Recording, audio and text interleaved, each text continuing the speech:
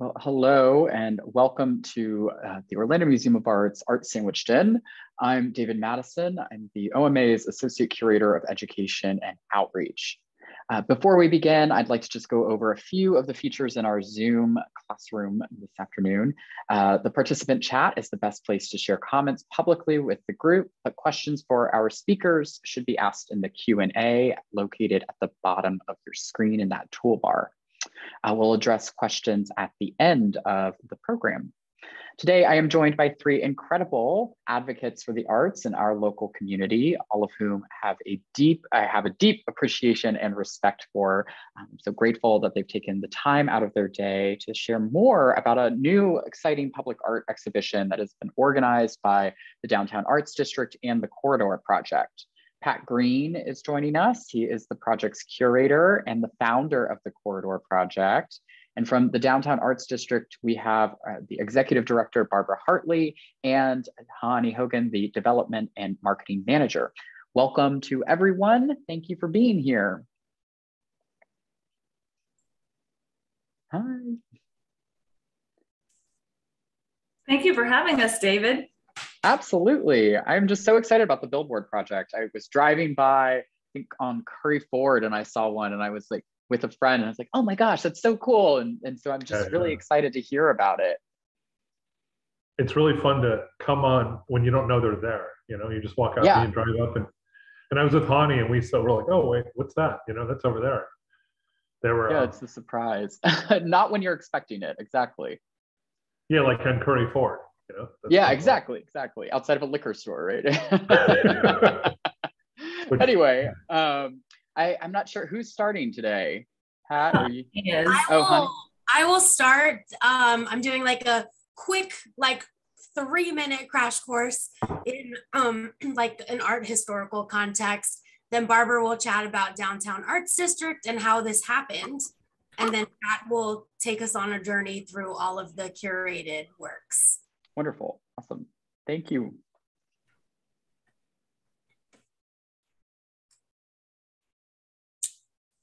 Do I share my screen now, David? Are you ready? Yeah, go ahead. Yeah, absolutely. Thank you so much. All right. Can you see my screen? Just that looks fine? great. Awesome. All right, everyone. Thank you for joining us. Yes, we're going to talk about the Corridor Project Billboard Exhibition. Just like David said, my name is Haani Hogan. I'm the Development and Marketing Manager at Downtown Arts District.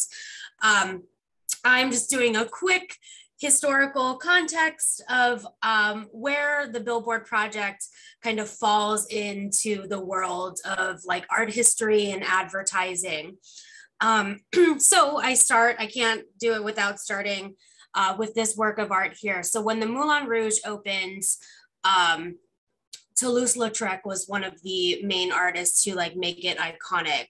And he displayed his paintings near the entrance of the um, venue. And he himself was a conspicuous fixture of the place and was commissioned to create a six foot tall advertisement that launched his poster making career and made him, which made him famous overnight and he turned a spotlight to the crowded dance floor of the nightclub and its star performers um, the boneless acrobat, which is in the front, and then the glutton, who is the can can dancer.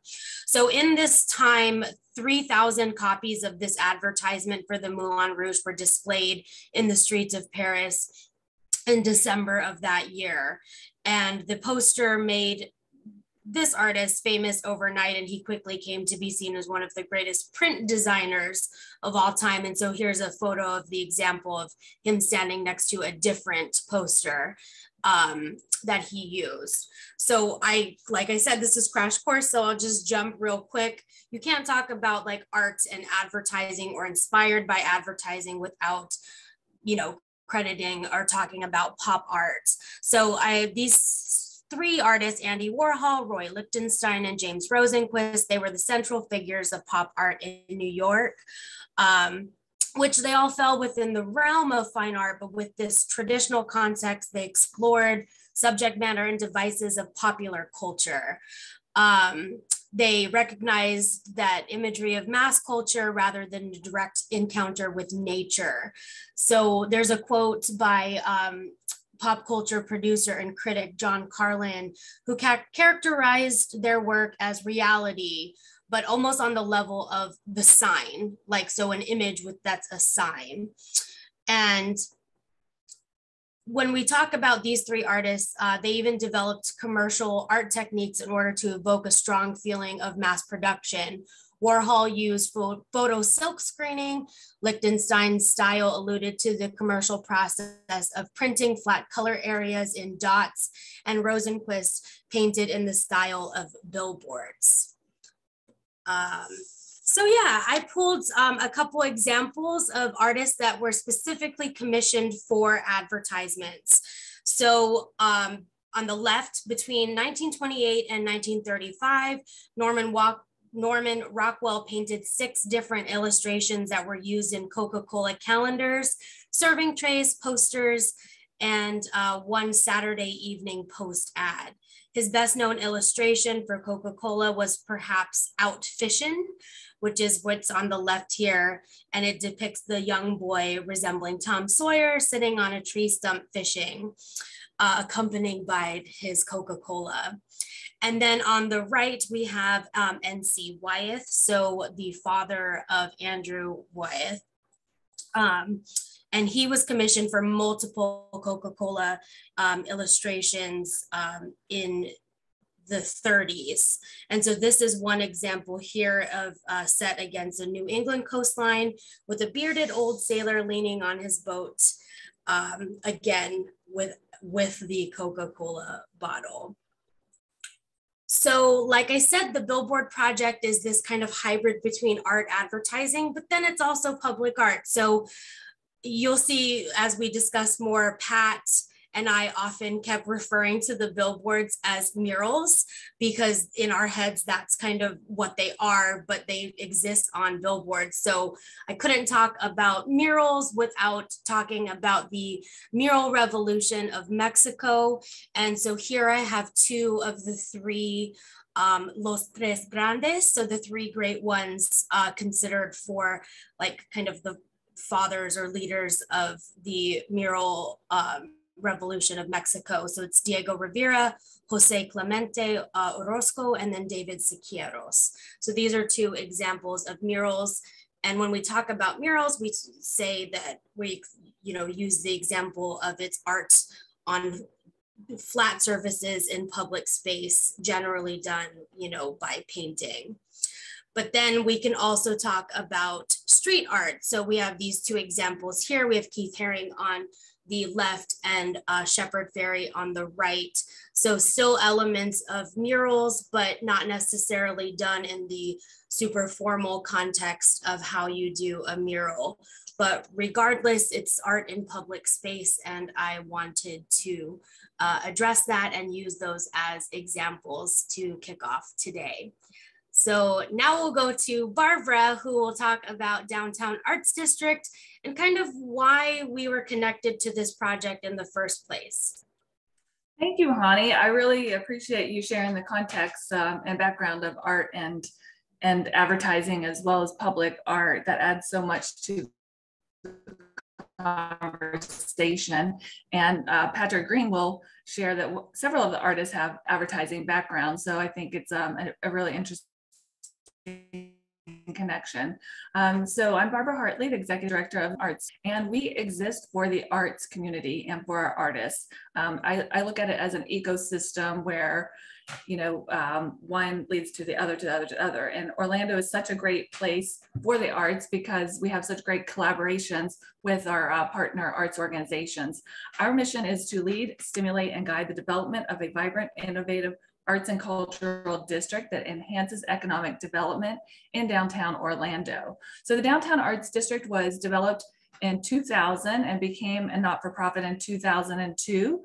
Um, we were in we were formerly in the uh, building known as the Dr. Phillips building on the corner of Orange Avenue and Pine. Um, so we uh, started that gallery in 2006 and it was known as City Arts Factory. In 2018, the Downtown Arts District moved the gallery space to the, the Rogers Kiene building, which is on the National Historic Registry. Uh, so that beautiful green picture of uh, the building that we're in is where we live now. It's the oldest building in downtown, commercial building, and it was um, it was built in the 1800s.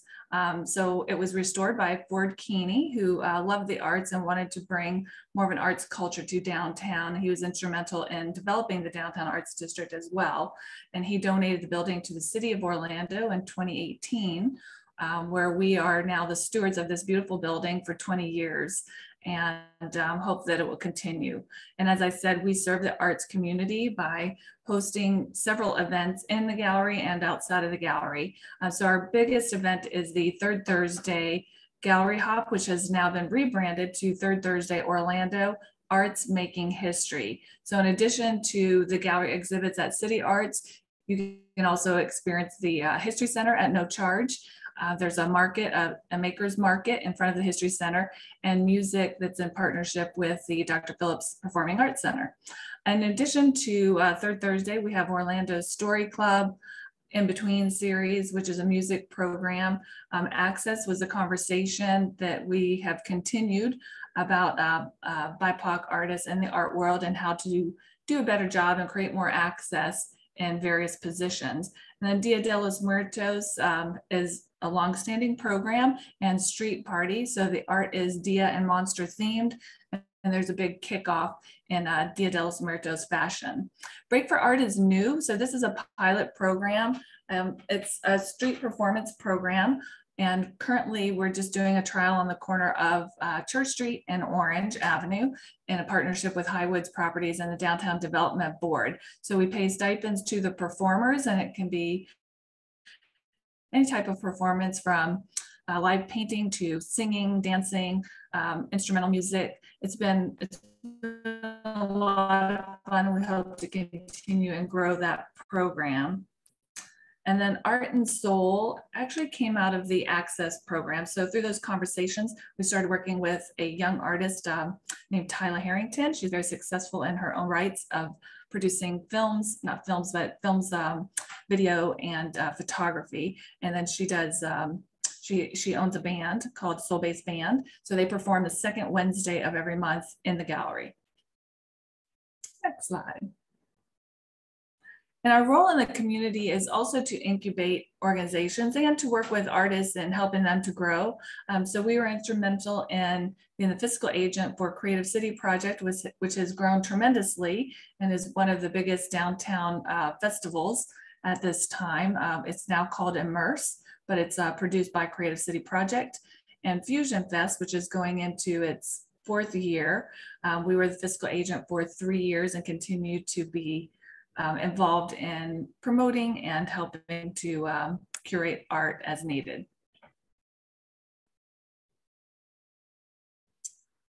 Other, other um, opportunities and engagements that we have um, worked with partners on is um, mural projects asked to help um, uh, that was uh, engaged with City Arts. So the City Arts muralist this year was Peter Van, Peter um, Guerriere, who is an artist and has a studio space in the building. His uh, studio is called Red Tape. And uh, they also run another business next door called Color Me Places, which is a place for artists to get lower quantity prints. Um, so prints, t-shirts, and, and other um, uh, lower quantity volume, but it's a way to help support the local artists. And then we love the project um, and let, we've taken artists to Art Basel over the last uh, five years, excluding the year of the pandemic shut down. And last year we, we did tours instead of um, bringing the artists down. But that is something we're really proud of uh, because we want the world to see all the great talent that's here in Orlando. And um, as you know, there's not as many gals a way to give our artists additional exposing collectors and at other, uh, we've, um, we've served the community with, um, you know, through the years 2,771 um, artists this past year. And we did the, the um, the picture on the lower right-hand corner is a project with Bloomingdale's. So that was the, um, the dressing room project. We engaged several artists to paint murals in the dressing rooms to um, really add some life and vibrancy. We're hoping that that continues on. Next slide.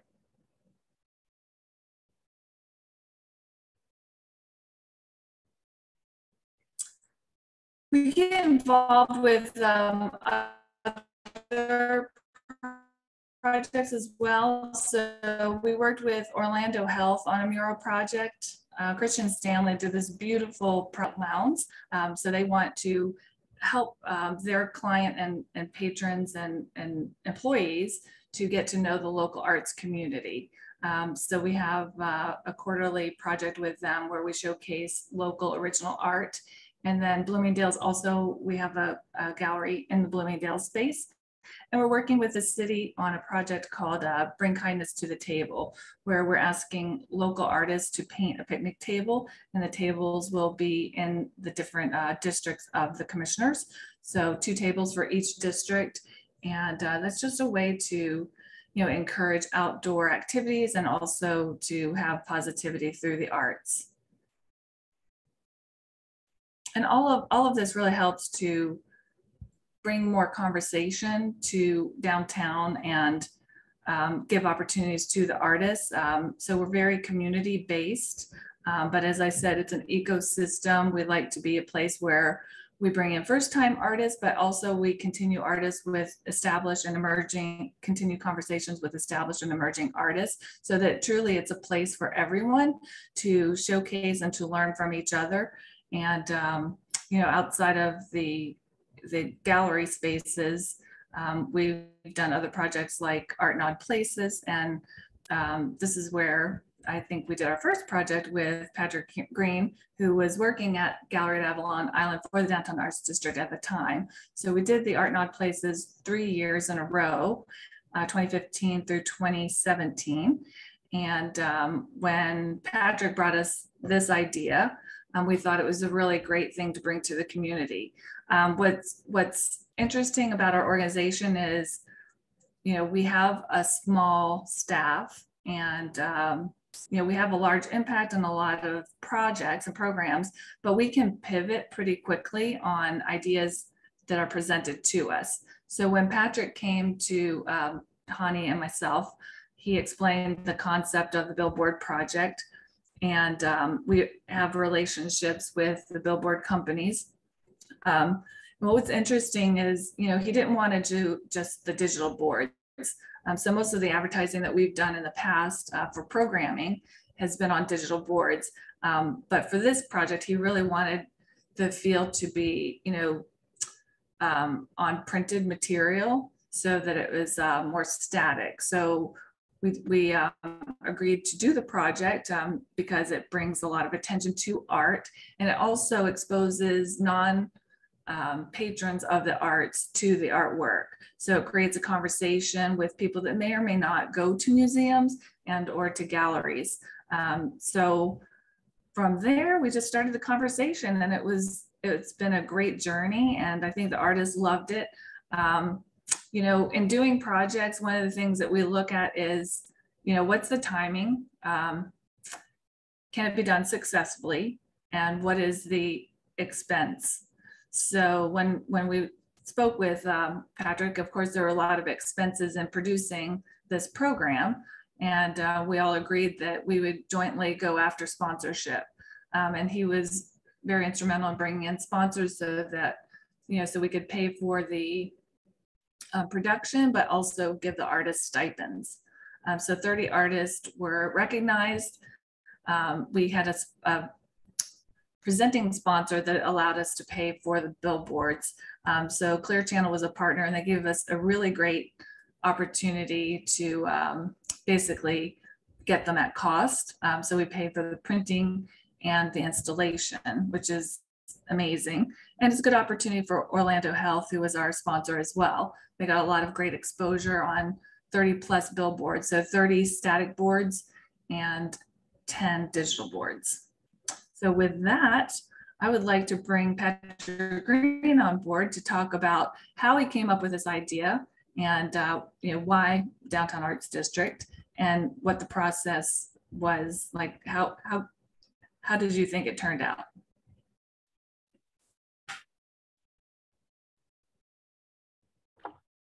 Uh, thank you, everyone. I no, I, I um, I've been thinking about this for a long time because I was out of the country when I was younger for two years, over two years, and I came back. One of the first things I noticed was billboards, and I thought, wow, they're like everywhere. And I kind of thought, why can't they have like occasional like art or something, something that's not just advertising too? Because I felt like they're they could be a little more, since they're part of the landscape, they could be more interesting. So I've been thinking about this for quite a while. And then I realized that some people did this in in Los Angeles, who the one guy who's in charge of that project ended up calling me about this. We had a great conversation for like an hour. But he shows artists from all over the world. And I wanted to focus on the local talent because like what Barbara was saying about Art Basel bringing local artists down there because I felt like Orlando's not really known as an outside of Orlando, it's not known as an artist place, and it, and I feel like it should be. And what a, a better way to do it is to put the art on the highway. People are going to Tampa or wherever, they can come and see this, and it's uh, you know, like going like Hani and I went by Cafe Linger in College Park, and there's a a billboard, Erica Sobrick's uh, billboard sitting out there, and it's just kind of amazing. And as David mentioned, the ones on Curry Ford and they're also kind of on these little kind of roads that we all go to. But I, I really wanted to, I mean, I have a sort of mixed feeling of being a slight art snob, but also wanting, but I'm really more community minded in the end. And one of the reasons I uh, approached, a big reason I approached uh, Downtown Arts District is uh, because I've been working with them. I, I ran, as they mentioned, that where the City Arts is now was Gallery at Avalon Island from 2013 to 2018, I was the gallery director and curator. And I even lived in the apartment for three years upstairs. And I kind of thought, you know, I, I, I knew that it would be advantageous for me to go to a nonprofit to get a billboard company, but also I have a relationship with Barbara and Hani and Kat and everybody, and I don't want to, and I wanted to, I mean, if there's any success for me that, you know, could be shared, I'd rather share it with them than some, you know, somebody else that I haven't been dealing with or something that I don't have a relationship with. So, um, but it's also, it was really kind of interesting to look at because we had so many submissions and I picked, there's 30 artists altogether. I picked 11 pre-picks, curator picks, and then we 19 from um, submissions, which I think we had, was it close to like 300 submissions or something like that, or close to 300, I think. Yeah, it was uh, over 270. Yeah, and the thing that's difficult, and sometimes I would like, you know, like ask Hani what like, but the thing is difficult. Like when you look, there was so many amazing submissions that I didn't pick, and also you're also trying to think of in the context of where it's going to be on a billboard. So it's not going to be so it, there's not going to be as much nuanced art it's going to be a little more like marketing and like um, some of the the uh, examples that Hani was showing before, like uh, Ray Lichtenstein and different people. Like maybe it doesn't have to be that, but they they knew that their stuff was going to be very public and it was kind of done in a, a commercial, like borrowing from a commercial context. And um, I uh, and I looked at like people also like Edward Ruscha, LA artists, and the people that are really they feel like they borrowed from graphic design and advertising and like and the art world and i felt like it was i kind of like the idea that because a lot of public art is seems to have some controversy or people either don't like it or they you know or they ignore it or whatever and i felt like and i'm really a fan of more temporary public art because that way well if you didn't like this we'll show another one soon you know or whatever and i, I really like the idea of democratizing the experience of looking at art too like going down the highway because when i was running the gallery at avalon island there was a people would come in all the time and tell me how they were intimidated by the gallery experience and i had always been thinking about how could I lessen that, but sometimes lessening that involved them getting in first, which if they're intimidated, they might not come in. So like when I um, brought Art in Odd Places down from New York, that that was part of like I'd also done a Walk On By, which I did again May last year in, in 2012, and I think um, we're probably going to do it in a few months again. I'm talking to Zach Alfson in the Milk District, but I don't. I want I want people to feel like there's like when oh when I was at the gallery, David Moran and I did uh, the uh, TRIP project, Transit Interpretation Project, and we asked artists to participate. And I said, I don't, we don't want to see your portfolio, or I mean, no, we don't want to, but we don't care about your portfolio. If you want to participate, you can participate. So I'm kind of trying to find also ways where like less likely suspects are are involved and, and kind of in and this this project I was trying to mix it up with some people that everybody knows and then some lesser known that kind of and I wanted to um, mix up the type of artwork. That's why I intentionally didn't want a theme. And um, do you want me to say something about these, Hani? You can, Pat. I, I included all 30 billboards in this yeah, I can. PowerPoint if you want to. I thought that was a good segue, yeah. how you were like talking about, you know, some pretty well-known artists versus, you know, artists that not as many people in the community know. Well, like Arthur Dawson, I still haven't met him.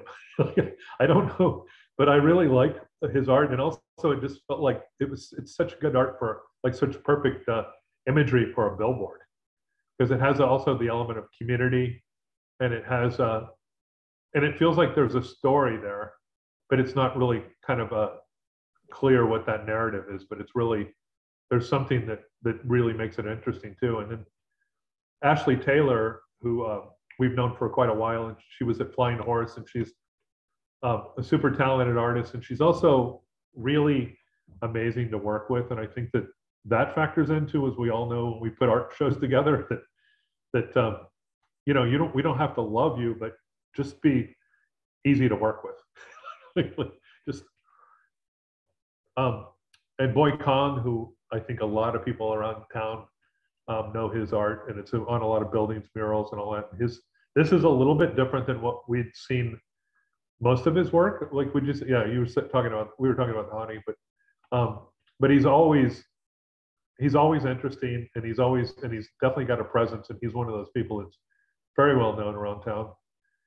Um, Charles Hodges, who's been teaching at Daytona College for years, and um, he's he's known um, is a professor and a photographer, and he's also kind of involved in really what's like kind of some social commentary. And I really love this piece, sort of a mixed meat, like a bit of a collage-ish kind of like on Harriet Tubman. It's really a beautiful piece. Yeah, I think in my interview with him um, after he was selected, I think he told me that there are like 18 layers to this piece. Oh, that's right. You told me this. Yeah. Yeah. yeah it's pretty cool. And Chris Robb, full disclosure, we grew up together and we um, have known each other since we were maybe like 15. We played baseball against each other. We used to play baseball and surf, but he's a, a great, he was a great ahead of me. And he was like the guy who, like, we were not the normal baseball players. He went away to New York after school and became an artist and he lived next door to I think the Dead Boys punk rock band. And he was he was in a show his very first show in 1980 was with Keith Keith Haring or not his first show but his Keith Haring's very first New York show Chris Robb was in that show in 1980 and several other really well-known artists.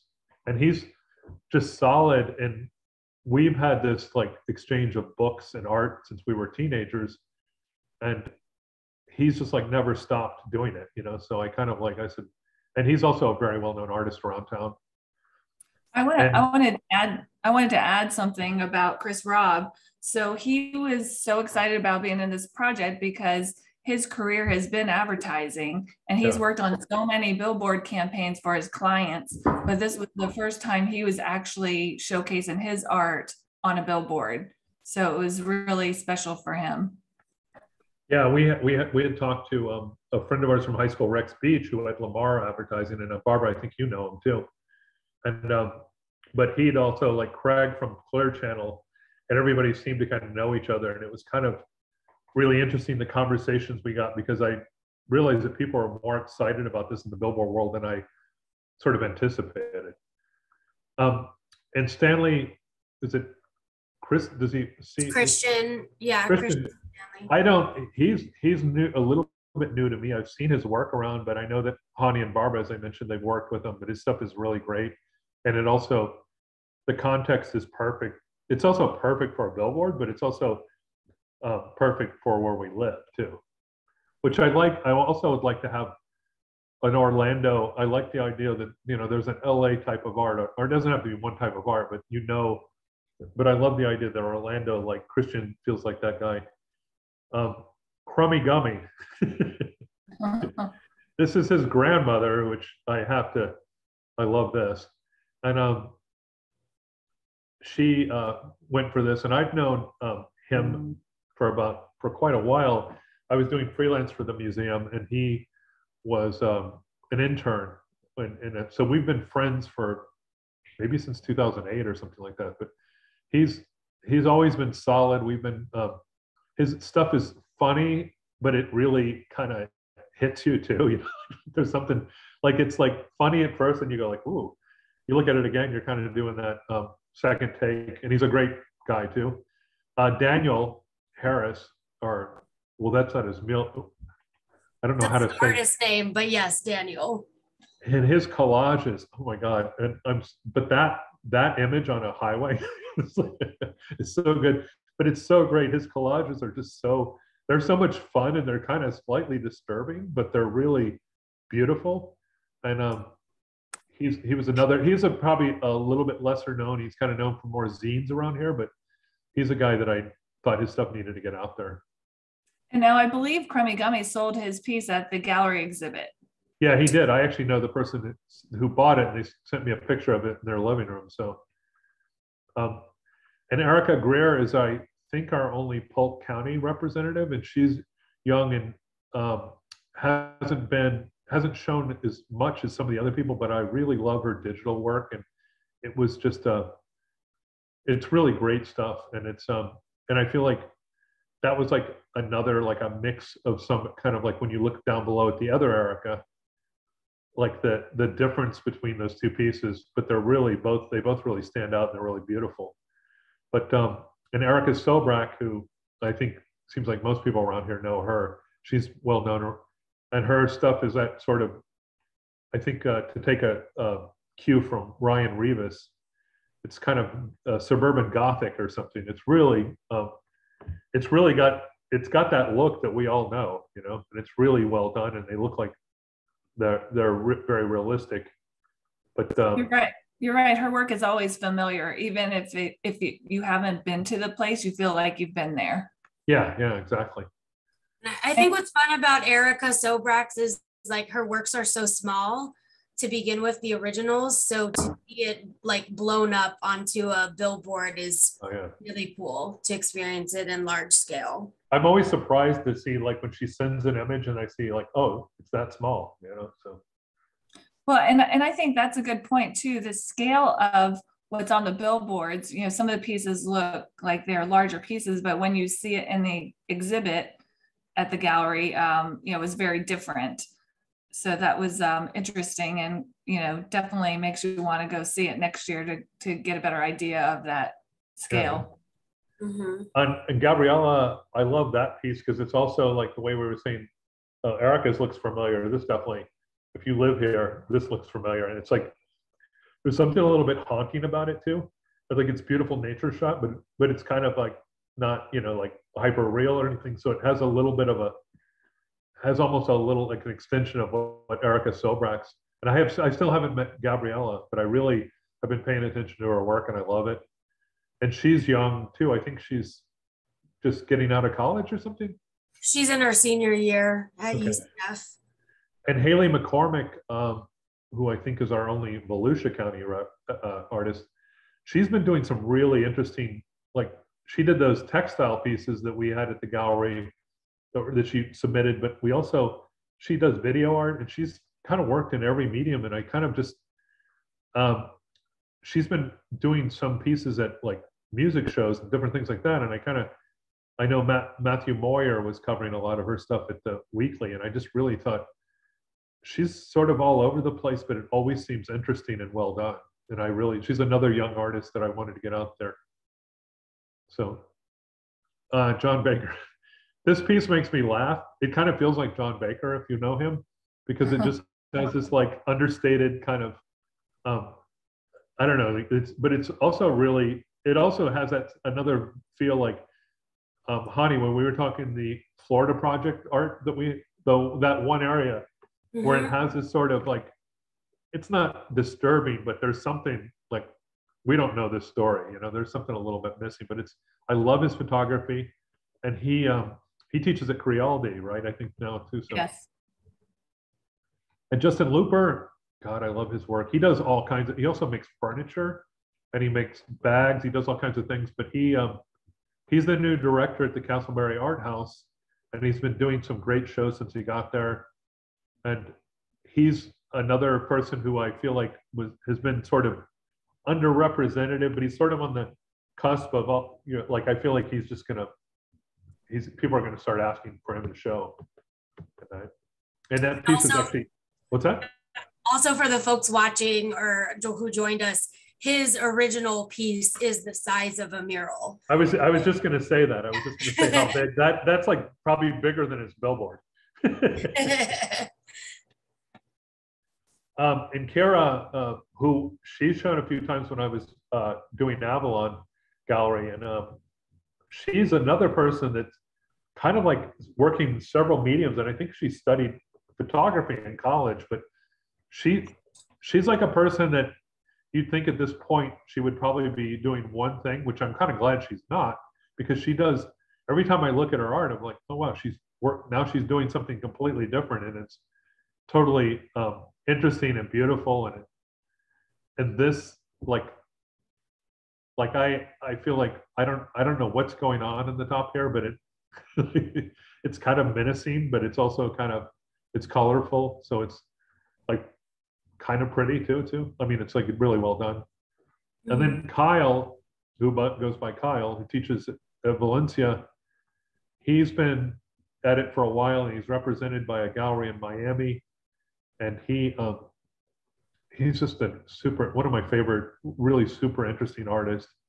And um, this picture was actually on the cover of Artborn magazine, which was around 2016, 17, which was here for a year.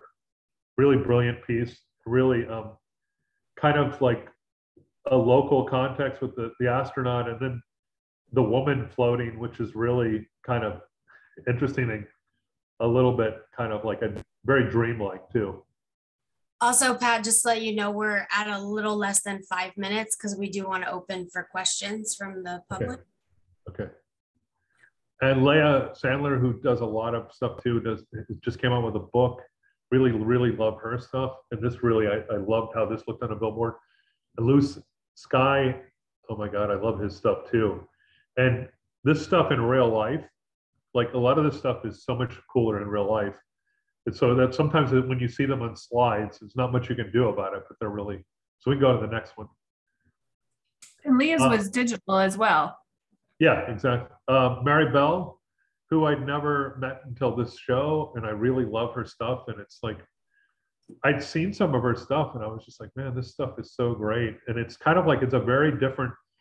It's very different than the rest of it because it's dark, but it's also just like it's very classical, be- beautiful, and um, they're all her, right, honey? Is that? Yeah, yeah. She's she's yeah. her own model, so she always yeah. does self portraits. And Maureen Hudis, who I actually worked with um, painting like 20 years ago or so uh, when I was doing some scenic art. And I've known her, and she's, or Maureen's also another person that I love to work with. And she showed at Gallery at Avalon Island a couple times. And she's just always brilliant. I mean, you can just let her go and do whatever she decides to do, and it's going to be great.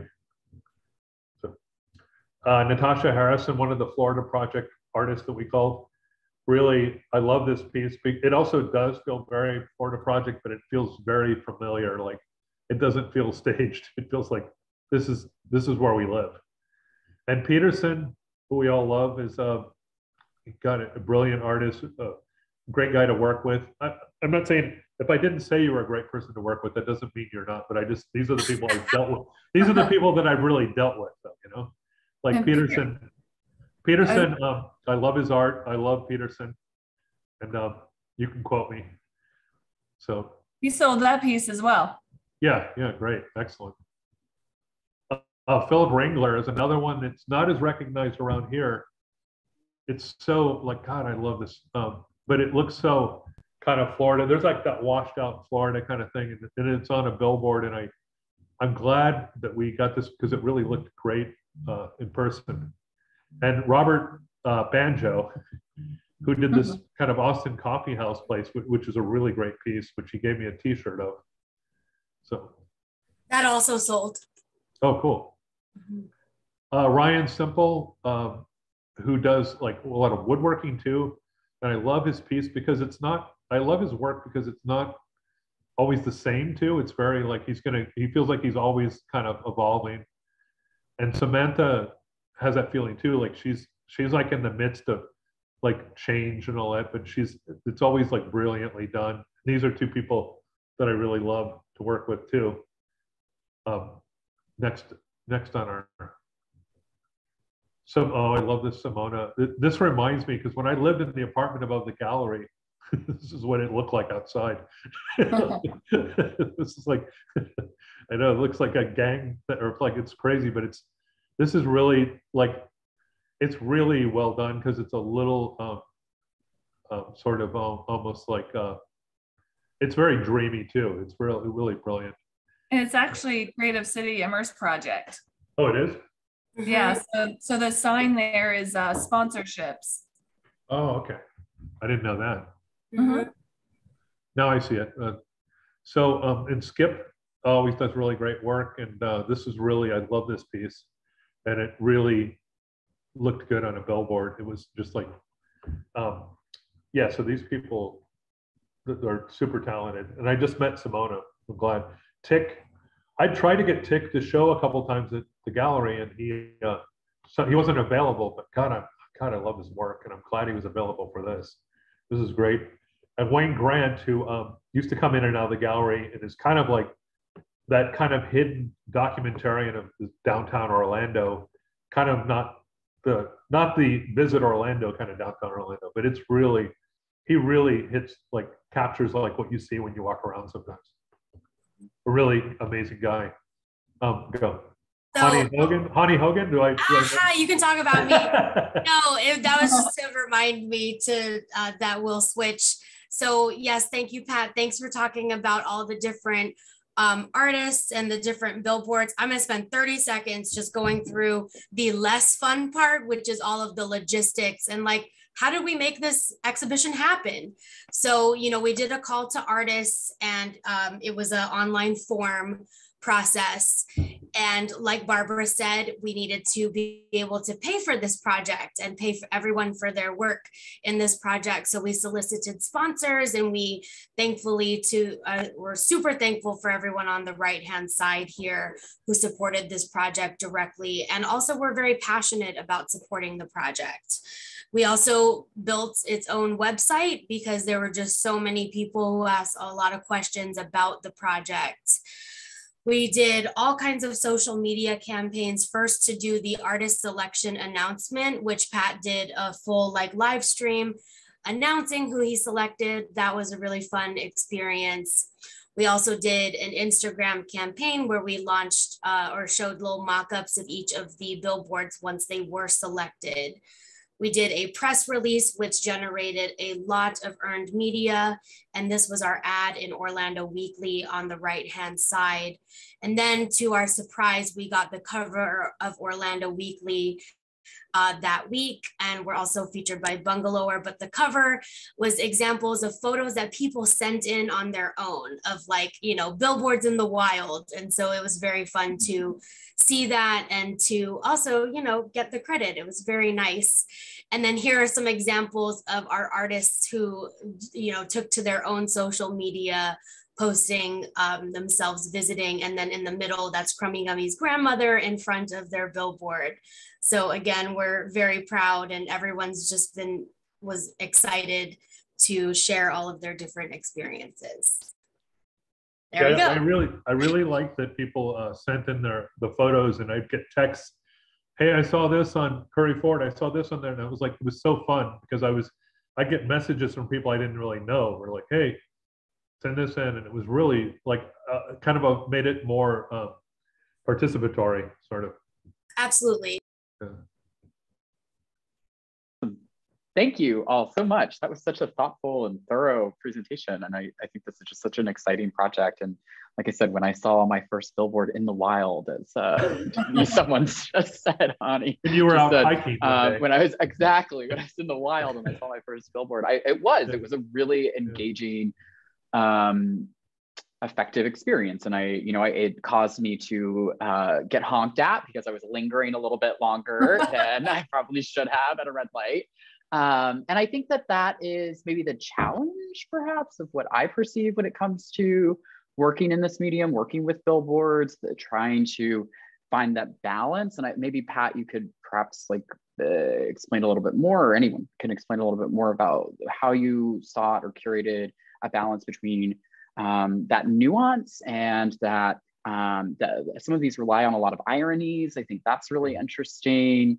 Um, and visual complexity, uh, conceptual complexity. I mean, these are really, some of these are really um, uh, thoughtful pieces in terms of the ideas that I think that they're purporting. So uh, how do you balance that with the medium of a billboard, which as the Orlando Weekly, I think just showed art at the speed of life. You have to move pretty quick.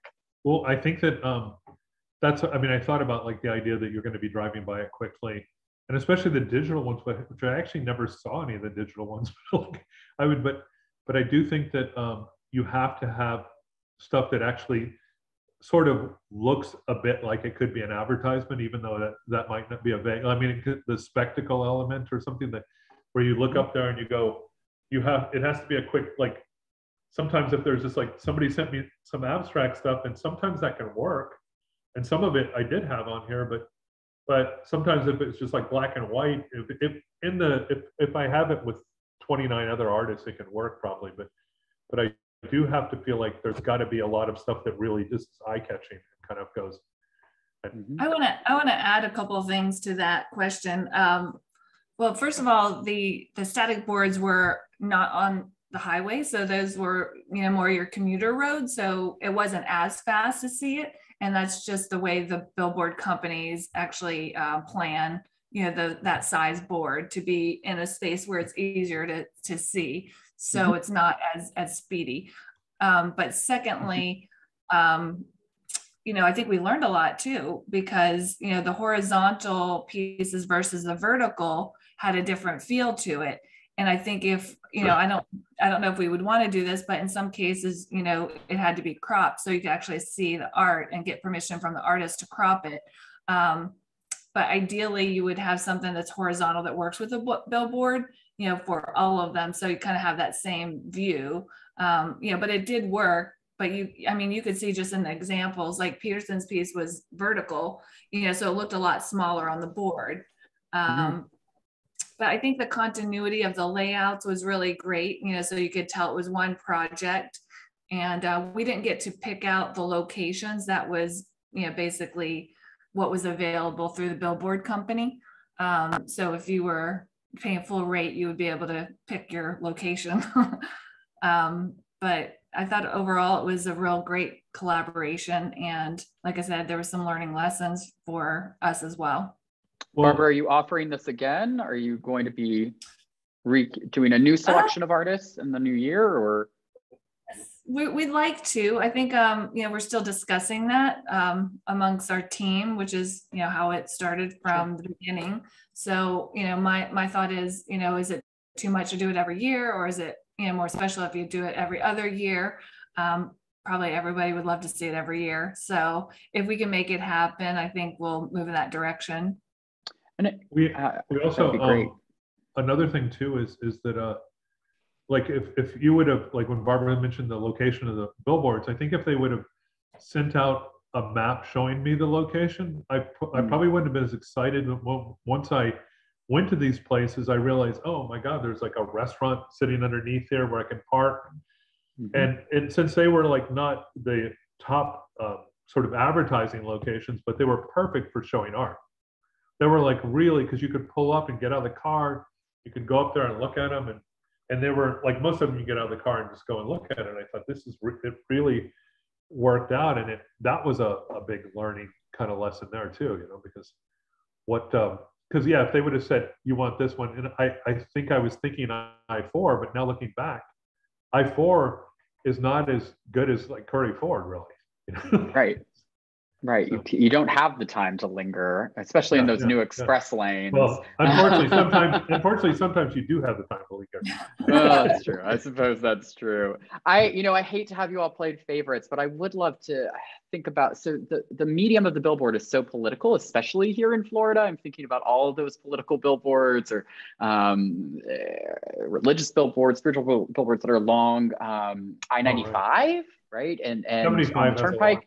And I mean, they're so shocking though when you see them um, and they grab at you and, and very disruptive. And so I'm wondering if there's one or two, if you each have a favorite perhaps in terms of the way they disrupted the politics of the billboard itself as a medium. Well, I, So I'll start. Yeah, go ahead, Barbara, and then I'll continue. Um, well, first of all, um, kind of going back to the idea of billboards. So one of the things to keep in mind is you don't want to have a lot of content on it, you know, so you Mhm. do want it to be able to get your message across quickly. Um, so, you know, working with our ad agency to lay it out, they helped with that. Um, but in terms of politics and kind of like a wow factor, I, I really thought that, um, John Baker's image, as well as the um, piece that Philip did with the, the whales that were inflated, uh, that were deflated. um, so I don't, I don't know if you remember that piece, but it was. Um, I know, think the baker is a really good point though, Barbara. Sorry to cut cut Yeah. in, but you're right. Like the the fact that it is in black and white, it lends that kind of almost like haunting quality to the piece, and it does have that just like singular chair. You're right. You can fixate on it. So um, I like Yeah. that choice a lot. Yeah. And, and it also makes you wonder like what is what is happening there? Like what is mm-hmm. that about? And then the other mm-hmm. one is is also political and you know environmental issues you know? So the deflated whales were basically you know speaking to pollution and you know the aftermath. Sure. And Skips had that element too with the bird with the stomach filled up, and and I, I kind of felt like some of the ones that Hani and I discussed called that were like John Baker's and different the Florida Project ones were kind of I really um, probably I mean I loved all of them, but those definitely felt like they almost could have been oddball billboards, you know, like they just Mhm. felt like but there's like they're not really really clear what they're selling. And I kind of really liked the idea that, and I love everything, but I just said that those actually almost at first glance look like like John Baker's even could be like, well, wait, what is, what is this one for? You know, like if it was just left there, there as like an advertising without text, you know. that- Yeah. Yeah, and then for me, from a professional standpoint, as the liaison between all of our sponsors, um, there are two that definitely stand out for me because they're the ones I had to explain the most. Um, and that's what's fun for me, right? Being that like hybrid of like being in the like cool, fun art world, but then also balancing like connecting the two worlds of the business and the creative world. And so, of course, the one that really stood out was the was locked up by Crummy Gummy, so the grandma and the handcuffs. Um, I had to m- truly meet with both with that with each artist and get a full ex- explanation about their billboards so I could present it to some people who were like, why is this art? Or like, why Mm. is the billboard, right? Like, why was this chosen? And then same with Wayne Grant's business as usual. That one's a little more obvious because it, you know, is truly um, you know, a man selling Trump merchandise, but mm-hmm. not obviously showing exactly that it says Trump, right? You can see that it says it, but it doesn't outright say it. So I would say, from my perspective, it's that journey of not only understanding the context from each of the artists for myself, but being able to pass that message along to people who are I wouldn't say not as open, but definitely have to be like, oh, well, this is why it's art because this person said so, and this is the explanation of why they chose those mm. works. Um, and yeah, like with what Barbara said, I mean, because Pat, Pat and I went through a, truly a journey with some of the works. Some of the works that didn't end up getting selected, he and I were both on the same page for many of them of like we're not sure like we're not quite sure if that's going to be okay. We love it but you know we also also had to look at the context of who are the billboard company's clients. Is do we have any works of art that um, are you know critical commentary on those specific clients and we definitely did. So that's that was another thing. So i would say i'm you know very proud obviously of pat for you know kind of taking that route of being like mm, we need to rethink this. While we love this work is it is it the right one? Um, do we want to ruffle that many feathers uh, we might not have even needed to ruffle a feather it might not have even been an option right if we mm-hmm. presented mm-hmm. certain works to the billboard company so it yeah it's always interesting Great. yeah no all these are fantastic answers yeah because it's, it's also like uh Oh, sorry, the crummy gummy one is actually in a Pentecostal church parking lot. Yeah. That's interesting. Yeah. well, I could talk to you all forever. I, I do want to ask. Uh, oh, we have one Q and A question. Uh, will you be presenting any of the runner-ups at any point? We didn't actually have official runner-ups, but we it's like Hani and I had discussions of like people that we would have put in if so. Sure. Um, and we I would love just 30, but we would I would say there were about 60 that Pat was like, these are my absolute favorite, but but now we're looking at it from the context of Billboard. Like, and sure. so narrowed it down from there. So to Shri, I would say no, because in the end, we had 270 applicants, but only six, only 30 selected. So that would be a lot to try to coordinate. Cool.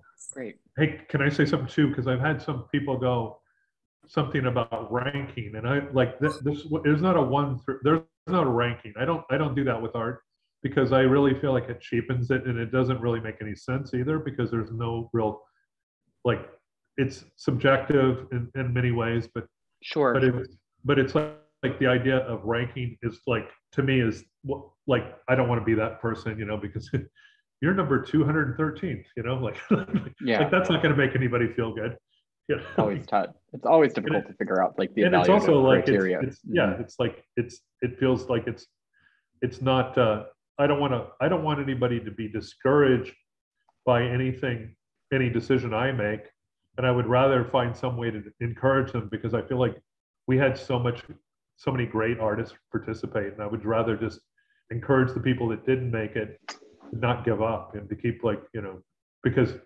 we might have really thought about them too so sure so we are right at time i would like to ask one last question of you maybe just in the briefest of answers Pat, you mentioned at the start of your talk um, an LA based aesthetic, a Mexico City based aesthetic, these very place driven um, aesthetics that we see of artists kind of working there that we can tell an LA artist when we look at his or her work um, just immediately. And I would love to know your thoughts um, in just again, a few words. What is an Orlando based aesthetic based on the works that you curated for this exhibition?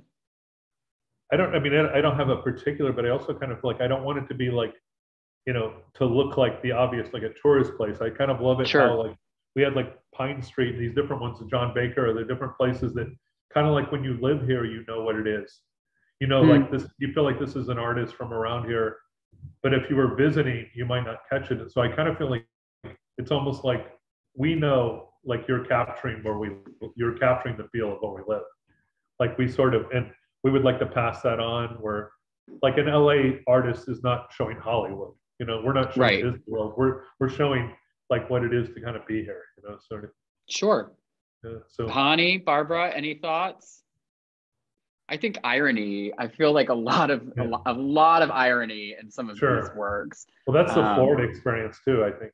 I suppose so. and maybe maybe we could talk more about that at another time. But Yes, Barbara, Honey, any other Thank thoughts? you so much. Oh, I was just Thank gonna you. say that Yeah. I was gonna I was just gonna add that I think there's so much variety. It's hard to narrow it down to like Mhm. an Orlando based type, you know, because there really is a lot of variety. Um, it sounded more like, you know, capturing Orlando, you know, not necessarily that their styles are all similar and that we could tell that they're Orlando artists, but just uh, that a lot of the work resonates and kind of takes us to uh, places that remind us of Orlando.